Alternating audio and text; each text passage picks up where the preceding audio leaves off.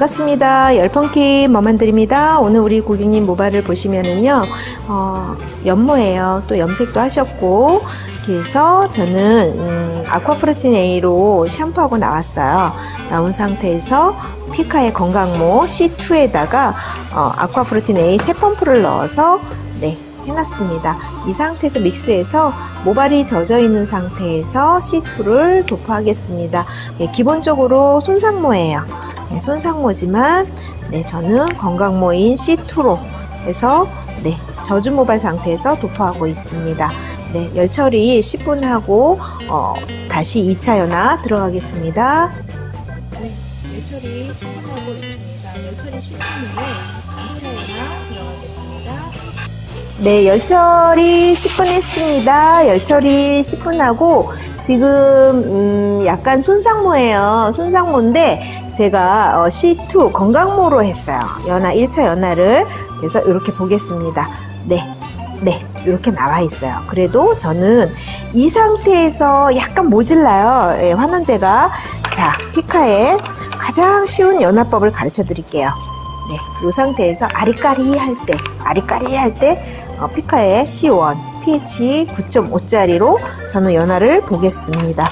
네, C1에다가 케라틴 파워 한 펌프, 또 케라틴 hot oil 한 펌프를 넣었어요. 그래가지고 연화를 보겠습니다. 네, 보시면 일단 위에 한번 보여드릴게요. 자, C1, pH 9.5짜리입니다. 자, 어머, 9.5짜리 도포하면 머리 늘어나는 거 아니야? 녹는 거 아니야? 그러잖아요. 자, 자, 보세요. 신선한 9.5짜리 펌젤을, 환원제를 도포하고 있습니다. 어때요? 머리가 반짝반짝 반짝반짝 하면서 살아나고 있어요. 예, 머리가 통통해지면서. 네, 연화 이렇게 보시면 됩니다. 예, 어만들 따라오세요. 열펌 쉽게 가르쳐 드릴게요. 예, 속성으로 해서 어, 더블로 뿌리도 살리고 속성으로 winding 하는 거 네, 해보겠습니다.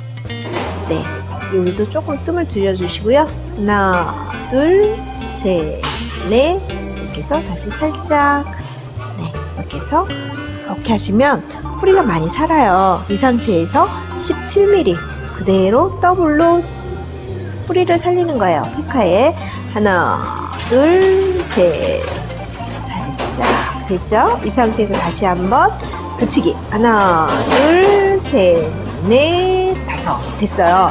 이 상태에서 자, 수분 한번 그대로 건조해주세요. 끝에. 그 다음에 네, 딱 넣으신 다음에 바로 그냥 속성이에요. 그래서 그냥 뿌리 따로 살리고 와인딩 따로 하고 이런 것보다 짧은 머리는 그냥 바로 네, 이렇게 해서 피카는 자, 끝뜸을 첫뜸이 아니고 그냥 끝뜸에서 중점으로 두고 있거든요. 자, 이 상태에서 끝이 다 들어갔어요. 그래서 이제부터는 뜸 들인 다음에 자, 이렇게 펼쳐주세요. 그러면 어때요? 빨리 말라요. 봉이 기니까 이 상태에서 위에서 아래로 하고 놓으셔서 이렇게 빼주시면 되겠습니다. 자, 다시 한번 해볼까요? 피카에 어, 뿌리 살리기하고 더블로 뿌리 살리면서 속성으로 어, winding 하는 법 가르쳐 드릴게요. 자, 이렇게 잡으신 다음에 슬라이스를 길게 뜨는 거예요. 짧게 뜨는 게 아니고 피카는 봉이 길거든요. 자, 13mm 90도 각도 그냥 판넬 들어주시고요. 자, 수분 한번 건조해 주시고 45도 하나, 둘, 셋. 자, 여기도 한번 글러브 여기도 90, 한, 그냥 3초 정도 뜸 들여주세요. 그럼 더 확실히 살겠죠? 자, 45도에서 하나, 둘, 셋 하고 글러브도 네. 자, 이 상태에서 이렇게 빼줘도 많이 살아요. 뿌리가. 근데 자, 더블입니다. 피카의 더블 17mm 그대로 넣으셔서 수분 한번 건조해 주시고 45도 하나, 둘, 셋 하나, 둘, 셋 됐죠? 이제 다시 한번 하나, 둘, 셋, 넷, 다섯. 됐죠? 자, 이 상태에서 수분 한번 쭉 건조해 주세요. 그리고, 네, 넣으신 다음에, 자, 와인딩 들어가겠습니다. 네. 자, 천천히. 끝이 여기 있어서, 이제부터는 천천히, 천천히, 천천히. 네.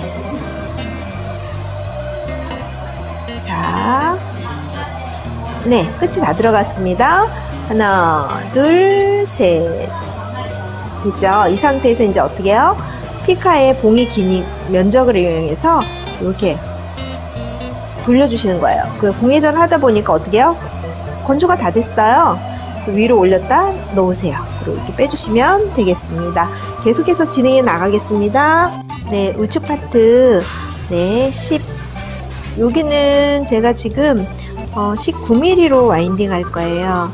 네, 자연스럽게 예, 위에 부분은 제가 golden point 있는 데는 17mm로 winding 했는데 옆에 사이드는 그렇게까지 뽀글거리지 않아도 돼요. 자, 수분 한번 건조해 주시고요. 자, 19mm winding 들어가겠습니다. 이제 피카에, 이게 피카는 봉이 길다는 건 아시고 또 이렇게, 어, 진짜 진짜 이렇게 진짜 굵은 걸로 해도 머리가 잘 나와 그러시잖아요. 잘 나와요. 예, 잘 나와요. 자, 19mm 이렇게 해서 와인딩 하시면 되겠습니다. 네, 너무 쉽지 않아요? 네. 요즘에 열펌 굉장히 재밌게 하실 수 있습니다. 골치 아프게 하지 마세요. 원장님, 제가 음, 열펌킨 머만들이 쉽게 하는 방법 가르쳐 드릴게요. 어, 머만들만 따라오세요. 네. 자, 계속해서 진행해 나가겠습니다. 네, 좌측 파트 와인딩 들어가겠습니다. 자, 좌측 파트도 네, 길게 슬라이스를 길게 떠주세요. 네, 피카는 봉이 길어서 네, 자, 아이롱, 롱 아이롱 자, 길게 잡으시고요. 네, 자, 여기도 어때요? 그냥 빗을 아이롱에다 딱 붙이세요. 조금 기다리셨다가 그냥 이렇게 돌돌돌. 네 이렇게 하시면 되겠습니다. 네, 끝이 벌써 다 이제 들어갔잖아요. 이 상태에서 끝등 들이시고 네자 이렇게 하시면 되겠습니다. 네 다시 한번 보여드릴까요? 너무 쉽죠 네 쉽게 하세요 그냥 어렵게 하지 마세요 음. 방황도 하지 마세요 어만들만 따라오세요 네, 쉽게 쉽게 가르쳐 드릴게요. 자, 이렇게 해서 계속해서 진행해 나가겠습니다.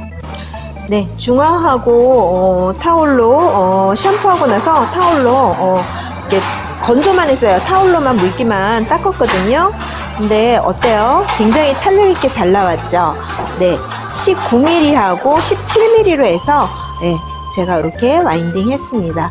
자, 완전 건조하고 어, 다시 한번 보여드리겠습니다.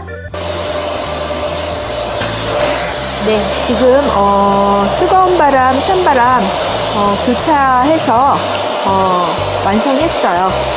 자, 보시면 예쁘죠? 네, 뿌리도 지금 이렇게 보시면 어, 뿌리도 굉장히 많이 살아있어요. 네, 굉장히 많이 살아있고 볼륨감도 있고 여기 또 이렇게 예쁘게 애교머리도 이렇게 디자인할 수 있고 요거는 아이롱만이 할 수 있는 그런 방법인 것 같아요. 요런 포인트 너무 예쁘죠? 네, 또 이쪽에 우리 이렇게 모류 규정처럼 우리 이, 이 부분이 없어요. 근데 아이롱으로 하다 보면 이런 부분까지 디자인이 돼가지고 이렇게 탁 커버되면서 네, 굉장히 예쁘죠?